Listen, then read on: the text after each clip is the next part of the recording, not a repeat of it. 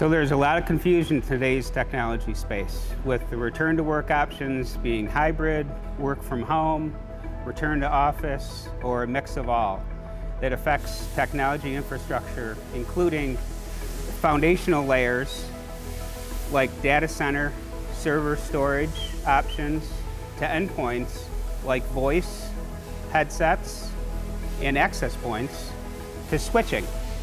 In switching, right now some customers are looking to upgrade, other customers are looking to stay with what they have. For those that wish to upgrade, we're here to help upgrade and we're also here to buy back the product that they have in stock right now. We'll make that cash outlay for customers much less with a combined trade-in program for the product they've got right now to trade in to us here in Syracuse or Norcross, Georgia.